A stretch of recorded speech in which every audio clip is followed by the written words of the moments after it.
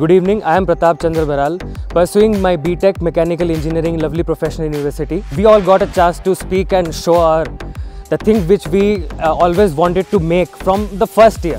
As my friend Pulkit always insisted that bro, we have to make a car. We have to do this and near by the end we actually did it.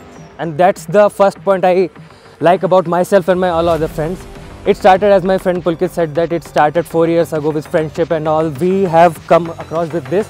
We have completely ripped off and removed all the body parts of the whole uh, exoskeleton structure and incorporate and inbuilt a internal chassis which is a roll cage chassis. In fact, it, uh, it would be having a huge weight reduction in it and which will lead to more or efficient fuel consumption.